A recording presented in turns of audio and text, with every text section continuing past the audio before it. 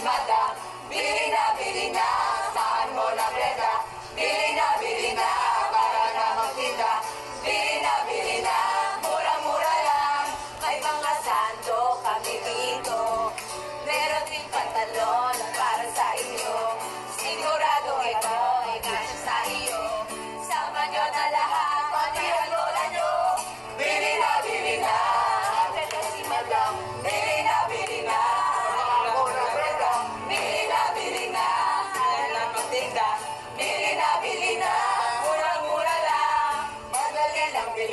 sa imay nyo na Huwag mo kang kalimutan